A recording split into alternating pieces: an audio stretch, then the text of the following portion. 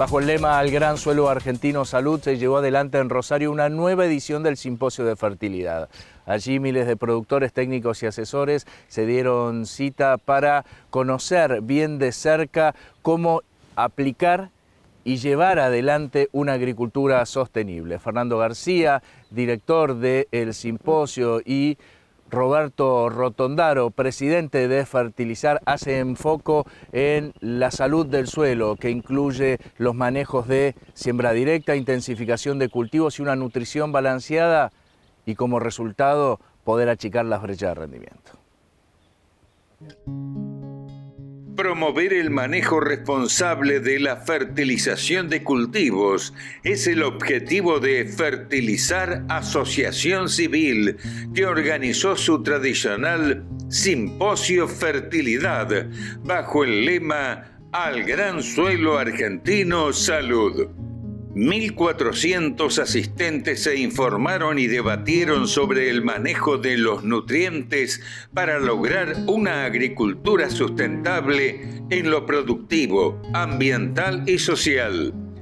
Fernando García y Roberto Rotondaro analizan la presente campaña y desafíos a futuro. Es un escenario, digamos, muy difícil, pero lo que tratamos de hacer siempre en los simposios es que los simposios proyecten las novedades, que refuercen los cimientos de lo que ya sabemos y que también nos digan hacia dónde vamos caminando, ¿no es cierto? A nosotros nos parece eso muy importante. Por eso abrimos con eso de hacia dónde va la agricultura o hacia una agricultura 2040 y por eso la importancia de poder contar, afortunadamente, con el doctor Patricio Grassini de la Universidad de Nebraska, que es un compatriota que trabaja en muchos sistemas de producción en todo el mundo y nos podía dar una buena visión global cómo vemos o cómo él ve la agricultura. Y a partir de ahí desandar un camino, ¿no? que es desde los cimientos a conocer cuáles son nuestras brechas de rendimiento, todo lo que vamos ir viendo a lo largo del simposio. Lo importante de esto es que desde el punto de vista de la nutrición de cultivos, de la fertilidad de suelos, podamos contribuir a ese paradigma de la agricultura sustentable, que va a cambiar el nombre del paradigma. Ya después de unos cuantos años en la agricultura sabemos que los paradigmas cambian de nombre, pero son siempre lo mismo, ser más eficientes, más efectivos, proveer bienestar a toda la sociedad y obviamente a, toda la sociedad agrícola en primer término. El principal objetivo es eh, mostrar las diferentes alternativas eh, de manejo y qué es lo que tenemos que hacer desde las prácticas agronómicas y el uso de, nutrientes para eh, cuidar la salud de nuestros suelos y darles sostenibilidad a los sistemas de producción. ¿Y cómo se presentan las brechas de rinde en los principales cultivos y se debe trabajar para poder achicarla con diagnóstico y estrategia nutricional? Nosotros vemos ahí que las brechas son medianas, ¿no? Comparadas con otros países del mundo. Ahora, se sostienen mucho en el potencial productivo o la capacidad productiva que tienen nuestros suelos, ¿no? Digamos, nosotros tenemos consumos de fertilizantes, por ejemplo, de nutrientes por hectárea, que están en el orden de 60, 70 kilos por hectárea. Venimos de una agricultura que en los principios de los 90 consumía 5 kilos de nutrientes por hectárea. Eh, por supuesto no queremos ser países que han terminado en situaciones de contaminación, de impactos ambientales extremadamente negativos. Pero con esos valores, si estamos removiendo o llevándonos en los granos, por ejemplo, 160 kilos de nutrientes, le estamos aplicando 60, obviamente estamos en deuda. Lo importante y lo que vamos a enfatizar, la respuesta a eso está en un buen diagnóstico. Y el buen diagnóstico hoy día pasa por un millón de herramientas de un enorme potencial. Antes era nada más que el barreno.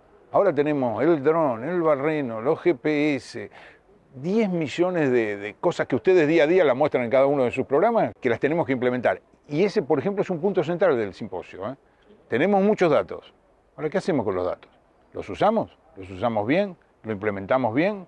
Porque datos ya sabemos que tenemos. Sabemos que tenemos brechas entre lo real que obtiene el productor y lo alcanzable y aproximadamente la mitad de esa brecha tiene que ver con ajustar la nutrición de los cultivos. Nos parece que todavía hay que hacer muchísimo en el tema ambientación, en el tema diagnóstico, en el tema análisis de suelo. Se mencionó hace un ratito que solamente se analizan el 30% de los suelos eh, de la región pampeana. Si bien hemos avanzado, eso como mirada optimista, todavía nos falta avanzar muchísimo más Y por supuesto tenemos que mejorar todo lo que son las prácticas, la elección de la adecuada fuente, la adecuada dosis para cada una de las zonas donde estamos produciendo. Fernando García describe cómo la nutrición eficiente de los cultivos tiene un rol fundamental para lograr achicar las brechas de rendimiento. Las brechas de rendimiento que, se están presentando hoy hablan de 50, 40% según los cultivos, varía mucho por zona. Uno siempre refiere la brecha, por ejemplo, ahí la que se mostró inicialmente como ejemplo, la del maíz, que era de alrededor del 47%, Cuidado con eso, porque eso sí lo manejamos nosotros cuando generalizamos. Entonces decimos, Argentina tiene un potencial de aumentar su rendimiento de maíz en un 43% más. Ahora, ¿es lo mismo en todos los lugares? No, no es lo mismo. No es lo mismo en todas las regiones maiceras de Argentina y tampoco es lo mismo dentro de una región maicera entre los lotes de maíz y adentro de un lote no es lo mismo entre los ambientes que hay adentro del lote. Entonces, ahí está el potencial que yo te refería recién, que con la agricultura de precisión podemos solucionar mucho mejor. Y en orden de prioridades, ¿cuáles son los nutrientes esenciales para poder alcanzar los rindes promedio en cada uno de los lotes? Los nutrientes más importantes y que definen, digamos, eh, la producción en región pampeana son fósforo, nitrógeno, te agregaría azufre como un elemento que ya hace muchos años viene limitando a los distintos cultivos. Primero empezó con la soja de segunda, pero hoy es un nutriente que hay que evaluar y en muchos casos debería estar puesto en consideración y te diría que hace unos 5 o 6 años para atrás el zinc como microelemento es, la vedet. En muchas zonas, como lo que es una zona bien, bien maicera, como es el centro-sur de Córdoba, es un elemento que hoy el asesor del productor lo está evaluando y lo está aplicando de distintas maneras, a veces aplicado a la semilla, eh, como starter, o si no, a veces aplicado digamos, en un complejo con el fósforo y el nitrógeno, o aplicado vía foliar. Pero en esa zona de producción sabemos que hoy ese microelemento es determinante y bueno, juega eh, de manera balanceada con nosotros. N es la bala de plata, ustedes saben que siempre decimos eso porque es la que determina el rendimiento.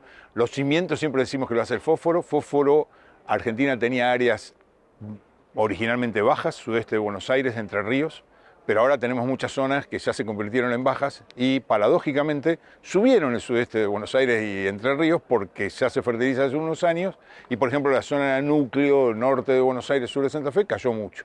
Está cayendo también norte de Córdoba, centro de Córdoba. Tenemos que mirar fósforo, obviamente, pero no son NP solo. Ese es el otro, zinc es el otro, boro. Probablemente nos empecemos a encontrar con desbalances de bases, algo que ya se está hablando bastante pero necesitamos siempre que eso esté basado en evidencia científica. Es decir, que tengamos a disposición la información con rigor estadístico para poder afirmarle concretamente al productor o al asesor, con este diagnóstico esto es lo que podrías hacer en esta región. Y esa información científica la necesitamos, obviamente la vamos a leer primero en los libros a nivel general, después la necesitaremos a nivel nacional, pero la vamos a necesitar también a nivel local. Desde el Simposio de Fertilizar, Roberto Rotondaro analiza la relación insumo-producto y su impacto en el rinde con el trigo y el maíz como protagonistas. Nosotros siempre miramos la relación insumo-producto, es decir, cuántos kilos de grano necesito para pagar una unidad de nutriente. Y hay que mirar por lo menos a mediano plazo, ¿no? porque uno si se queda con la foto a veces puede tomar decisiones equivocadas.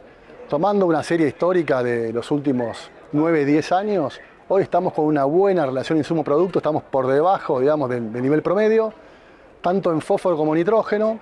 Tal vez en nitrógeno estamos con mejor relación todavía, porque bueno, la urea bajó más que el fósforo, y si bien los granos han bajado en los últimos meses un poco, este, la relación es muy, muy buena. Satisfacer la demanda futura de alimentos requiere de la intensificación sustentable de los sistemas productivos de cultivos. Fernando García cuantifica sus beneficios con faros largos. Sumar más cultivos cumple un poco los cuatro pilares esos que hablamos frecuentemente, ¿no? Rotaciones, siembra directa, cultivos de cobertura, de servicios, como los queramos llamar, y nutrición balanceada, pensando en el recurso no renovable, que es el suelo, sostén de la producción agrícola. Entonces, esos cuatro pilares son los que tenemos en manejo de suelo. Más cultivos en la rotación implica más raíces.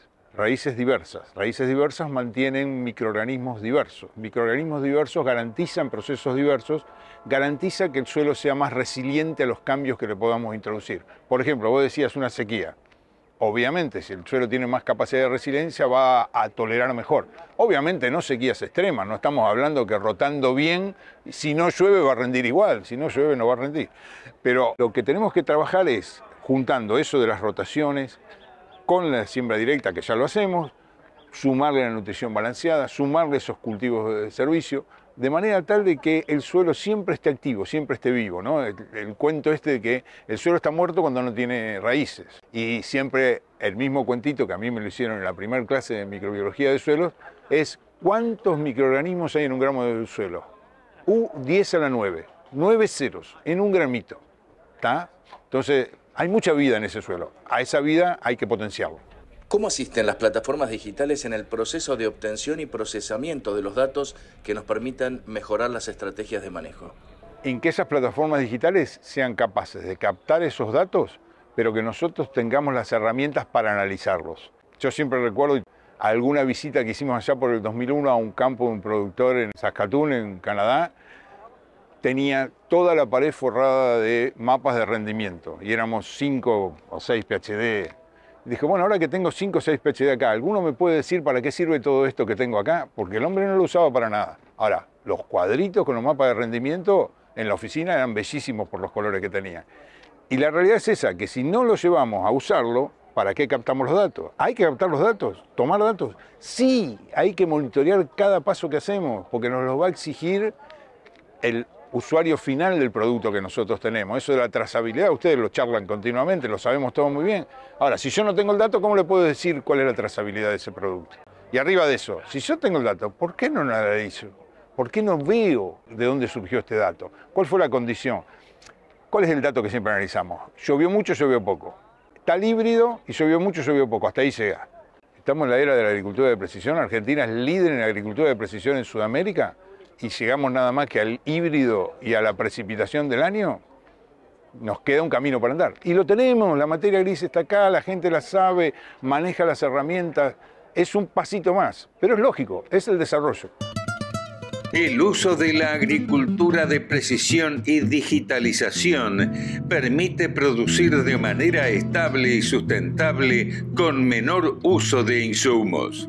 Rotondaro detalla cómo los manejos intralote tienen un mejor retorno económico. Exacto, sabemos que, los lotes, eh, el intralote que hablaron hoy no, no es todo igual, eh, hay mucha diferencia, por supuesto, dependiendo de la zona, dependiendo de la región, digamos, el factor o los factores limitantes cambian de acuerdo eh, a donde estemos, en algún lado puede ser el relieve, son un conjunto de factores, pero conocer cuánto produce cada una de mis zonas dentro del lote me permite digamos, ubicar los insumos de manera correcta, de manera eficiente, aplicando menos donde sé que no me va a rendir y aplicando más donde sé que digamos, tengo posibilidades de rendimiento más altas. Con un fuerte conocimiento del mercado, ¿qué recomendaciones acercamos a los productores después de una campaña tan difícil partiendo de un buen diagnóstico de suelo?